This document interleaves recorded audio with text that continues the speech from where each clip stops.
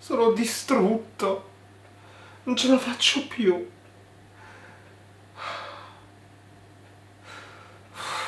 È un disastro. Questo libro è un disastro. È troppo trash. È un disagio. Perché devo parlarne? Nessuno mi ha obbligato, eh. Però mi sono forzato una mezz'ora di lettura che nessuno mi restituirà mai indietro. Devo trovare il coraggio. Devo trovare il coraggio. Adesso metto un disco di Enya e il New Age riuscirà a calmarmi. No, non riuscirà niente a calmarmi! Ah! Ah! Andiamo spediti e basta. Oggi nuova recensione trash. Ciao a tutti.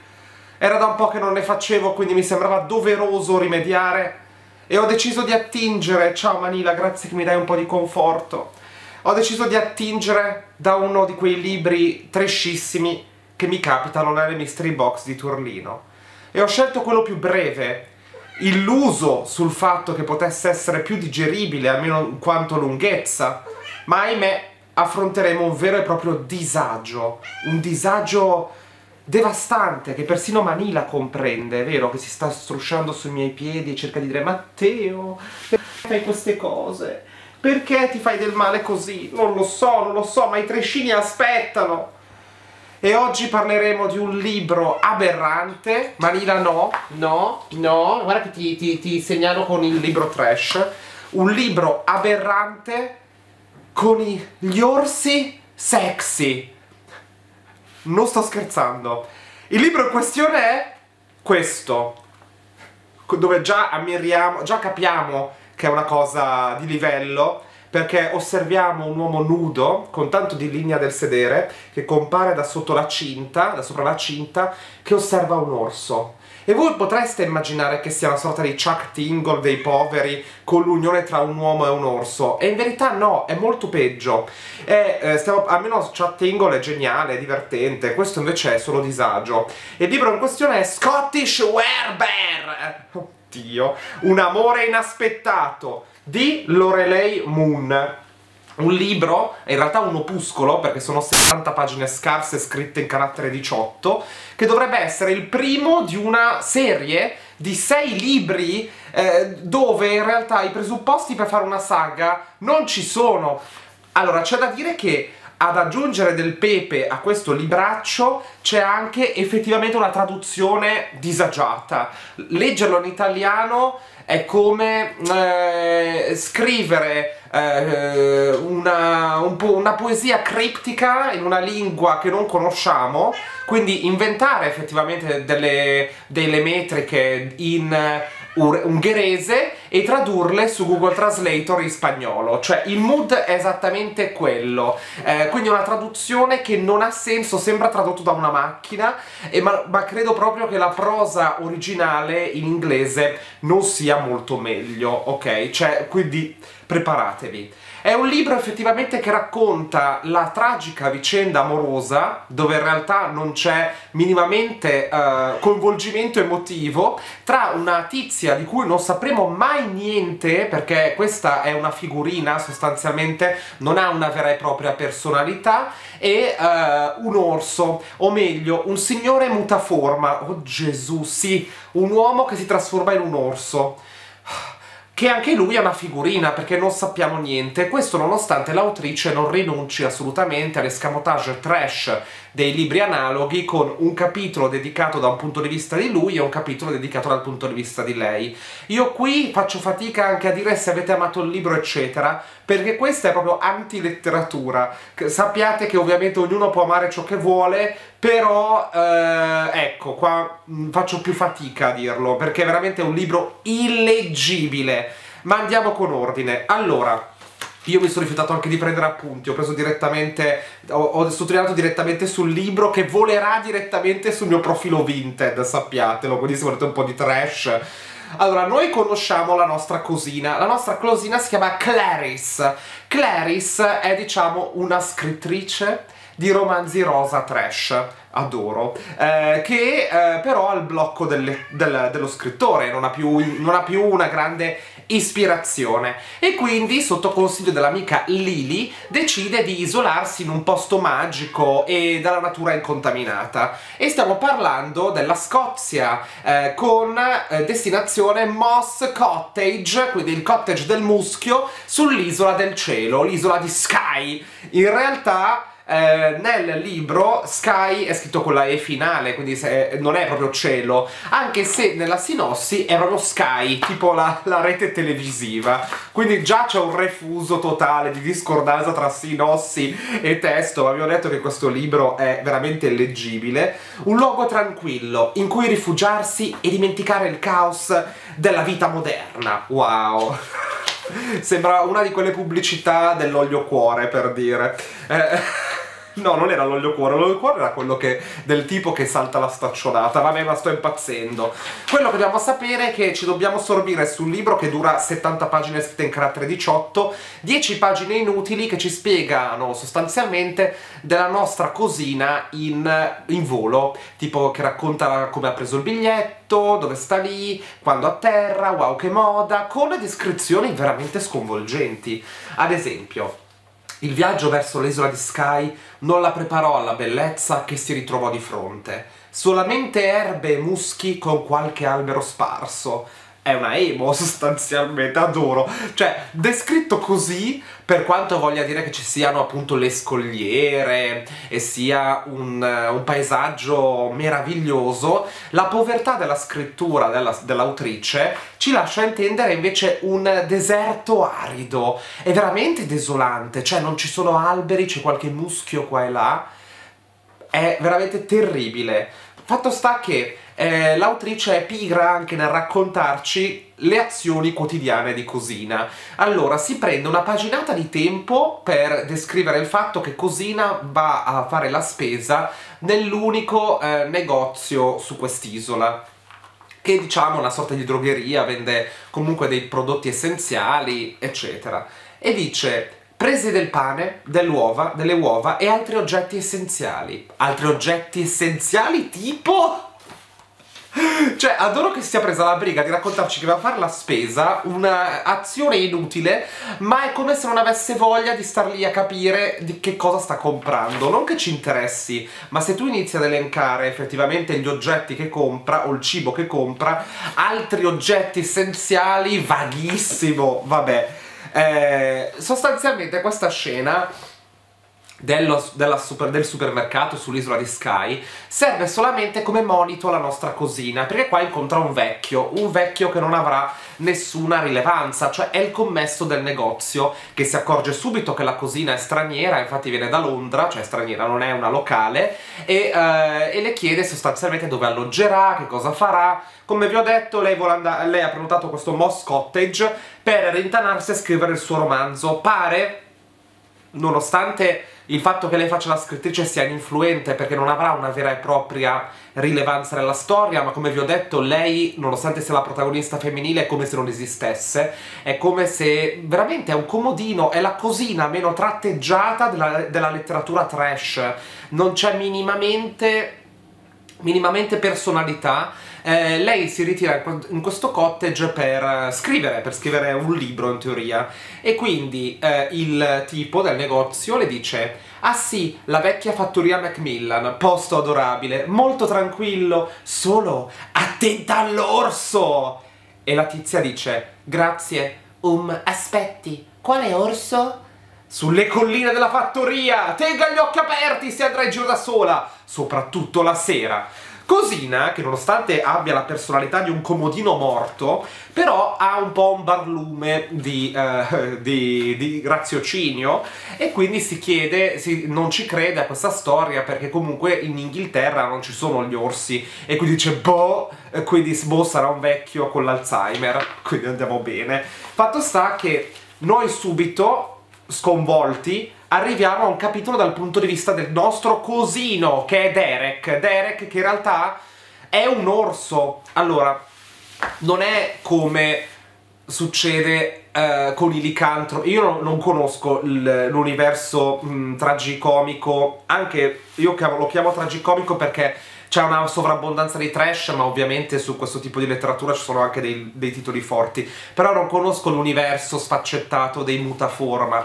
Però nella mia idea il licantropo è un uomo che si trasforma in lupo con la luna piena, ad esempio. In questo caso la natura vera di Cosino è essere un orso.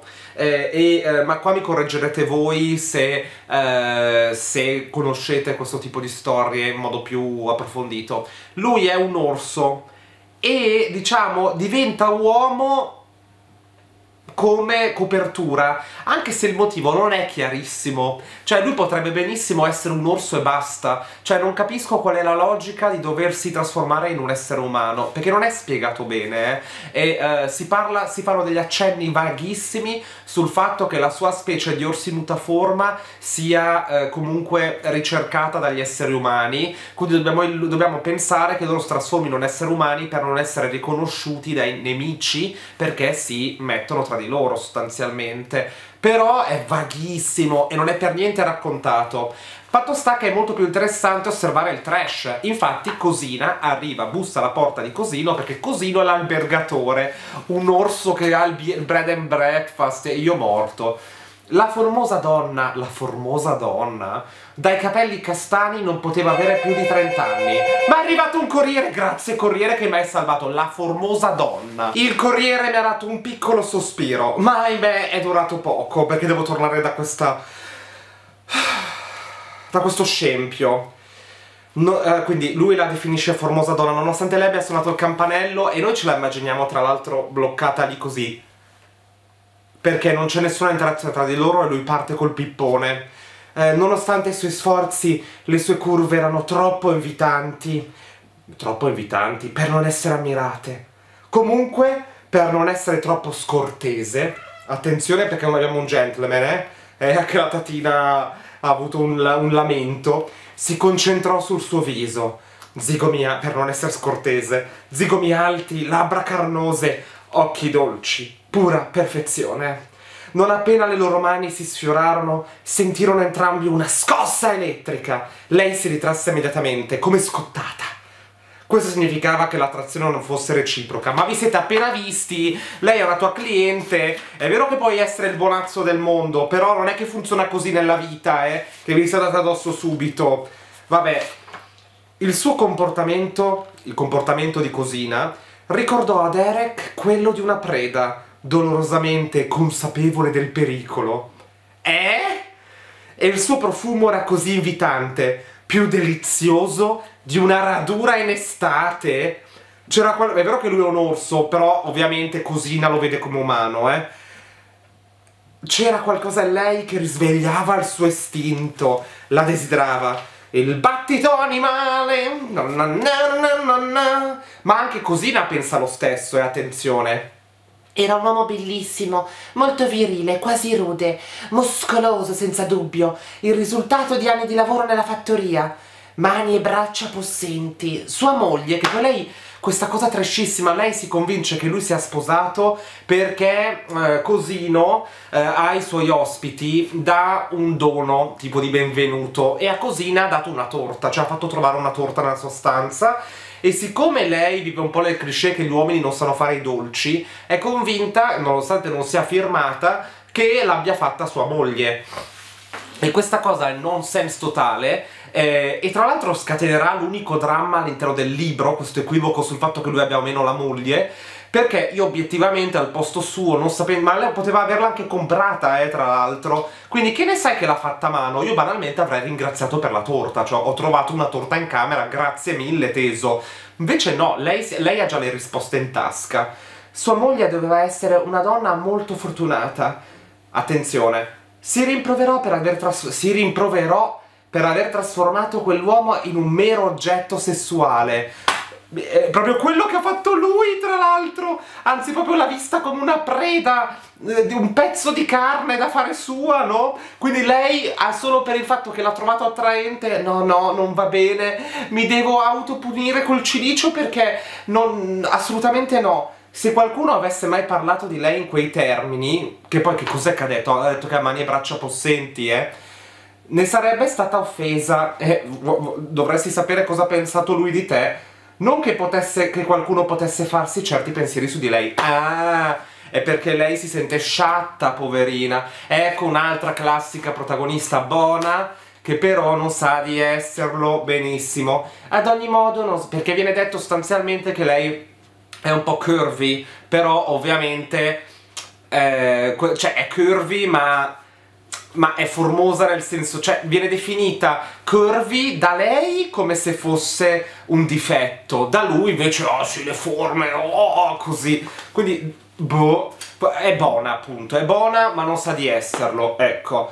Ad ogni modo non smise di avere pensieri scabrosi, scabrosi, aiuto, nemmeno dopo essersi chiusa nel cottage, chiedendosi che segreti potesse, che, che segreti deve rivelare puoi riservare Derek Macmillan, che è un orso probabilmente. E poi, tra l'altro, la riga dopo, e questo solamente perché, solamente per il momento in cui sono scambiati le chiavi, eh. Cioè lei era, lui gli ha dato le chiavi, lei si è presentata, appunto. Cioè è successo in tre secondi. E poi aggiunge, era da un po' che non faceva sesso.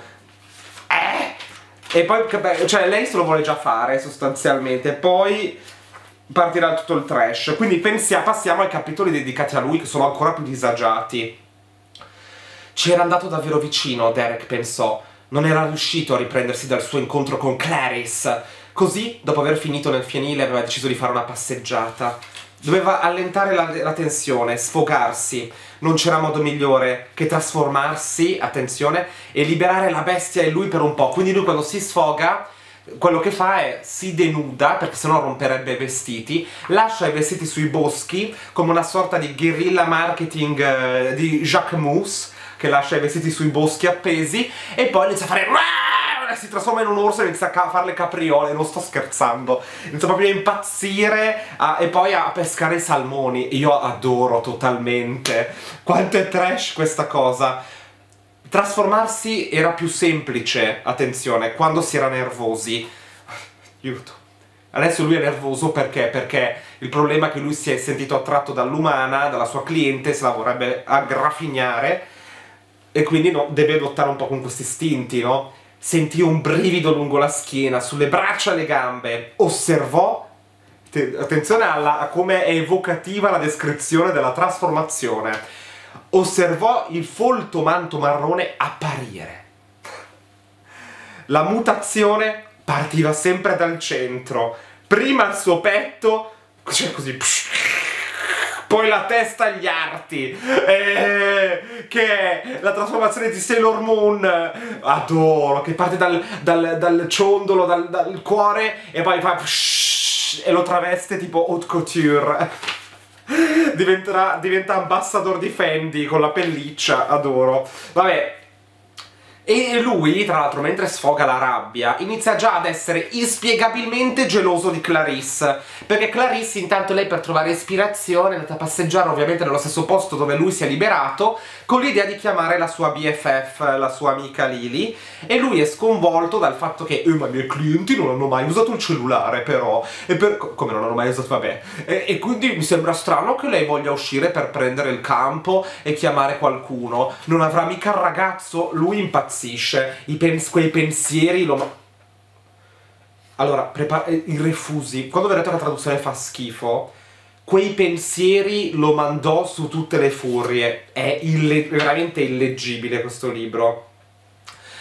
Arriva a caso, a casa di Cosino, un'orsa, Elise, dove sostanzialmente avviene un dialogo noiosissimo che rivela che lui non potrebbe stare insieme a un'umana, che è pericoloso e poi tra l'altro loro sono molto easy con eh, il rapporto tra specie diverse perché sua sorella dice sostanzialmente ah non ti sei innamorata di un non ti sei innamorato di un'orsa vuoi farti una lupa? vuoi farti una scoiattola? eh? cosa? non è normale cioè che cavolo è? E poi ragionano, parlano di, lo, di, loro stessi mm, come se fosse Alberto Angela a parlare di loro, capito? Cioè, è stranissima questa cosa perché, vi spiego, perché dovrebbe essere una spiegazione su come funziona il rapporto eh, di relazione tra questi orsi. Però loro stessi ne parlano così. Non è narratore, un narratore esterno, perché non c'è narratore esterno, tutto dal punto di vista di Cosino. Quindi è un dialogo imbarazzante È nei nostri interessi cercare un compagno per riprodurci e proteggere la specie. Dopo esserci accoppiati, i nostri cervelli rilasciano degli ormoni che ci permettono di essere fedeli all'altro. Giusto! Quindi riguarda soltanto il bene della razza, no? Significa che questo genere di cose può accadere solo tra orse. Tra orsi. Elise dice hai avuto una cotta per un lupo o per altro quando rivela ovviamente che è un'umana giammai che è più normale che avere un rapporto orso scoiattolo tra l'altro vabbè sebbene sua madre avesse, avuto, avesse sempre creduto nel destino, Derek non avrebbe mai lasciato la sua vita per un'esistenza da umano. Ah, perché lui rivela sostanzialmente che uh, è capitato in realtà che degli orsi mutaforma si innamorassero di umani o umane. Però per poter, uh, per poter essere. Um, per poter mantenere questo segreto custodito e mantenere la relazione hanno deciso di abbandonare totalmente gli istinti da orso e diventare umani, cosa che Derek non ha voglia di fare. L'orso in lui non glielo avrebbe mai permesso. No, si rifiutava di seguire quel destino. Avrebbe lottato contro quel forte desiderio. Erano solamente due settimane, buon Dio, non sarebbe stato difficile resistere a Clarice. Ma i tre puntini ci lasciano intendere, ahimè, che la lotta è ancora lunga. Riuscirà il nostro cosino a resistere a Clarice? Lo scopriremo subito. Allora, Cosina ci dice sostanzialmente che lei aveva un fidanzato prima, tal Alan, ma Alan ovviamente l'ha tradito l'ha tradita. E quindi Clarice adesso lei vuole tutte le storie lei è in blocco dello scrittore perché tutte le storie rosa che scrive sono, sono cliché e basate però sulla vendetta, cioè, cioè, cioè non c'è l'happy ending, quindi diciamo che li vengono scartate. E ad esempio, dopo un'ora, un'ora di scrittura, aveva già creato un nuovo personaggio e una trama. Eh? Una trama. Lei scrive... Lei ha un processo di scrittura tutto originale la protagonista Lady Ed... questo è il suo romanzo, eh. Lady Edlington non credeva si sarebbe innamorata del duca di Haringate. No, avrebbe solamente avuto una tresca.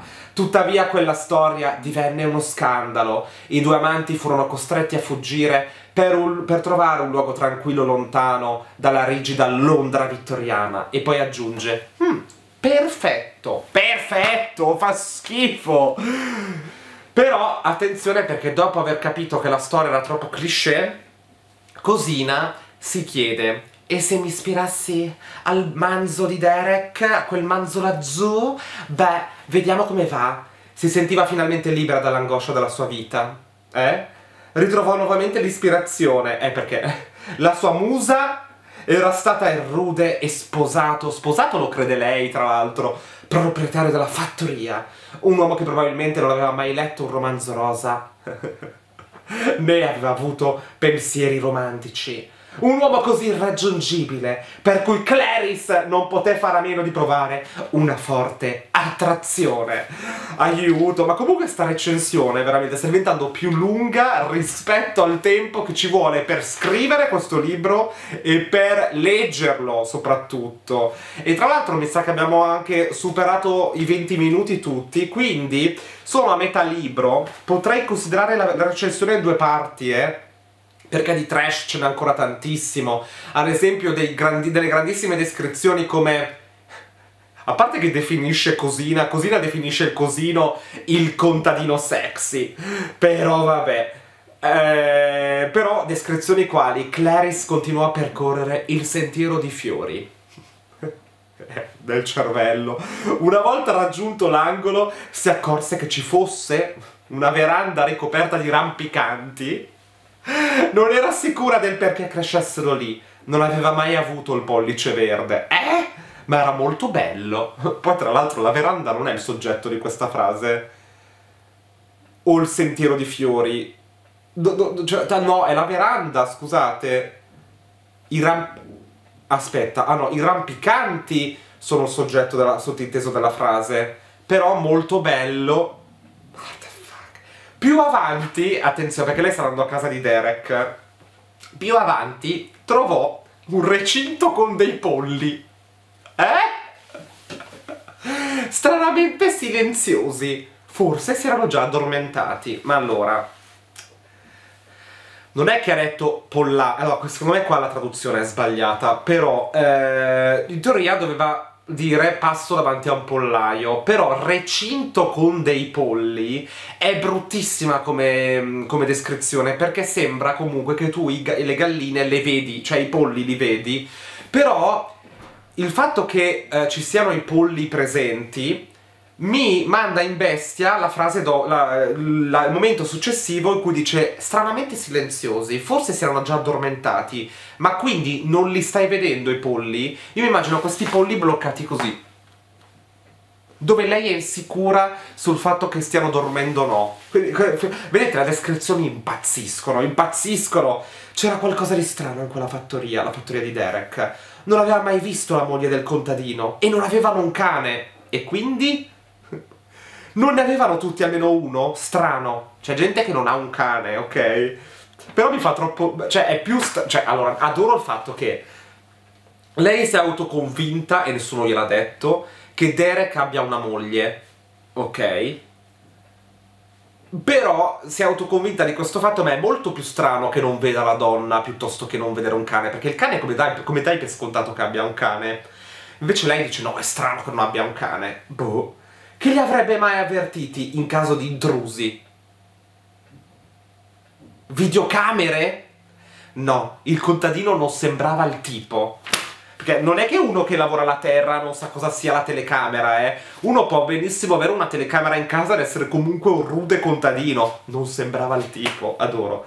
Scrollò le spalle. Forse non gli piacevano i cani.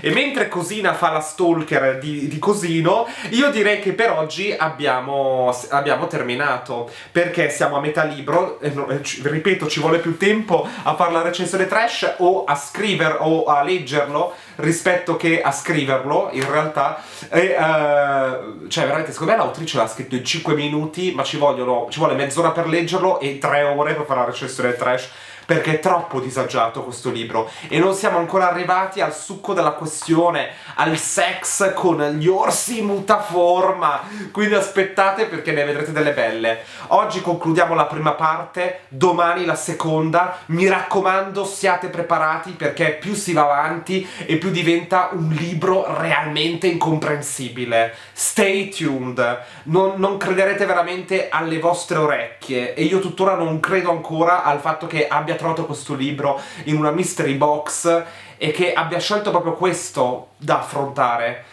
Disagio, disagio. Ci vediamo domani. Gli orsi mutaforma!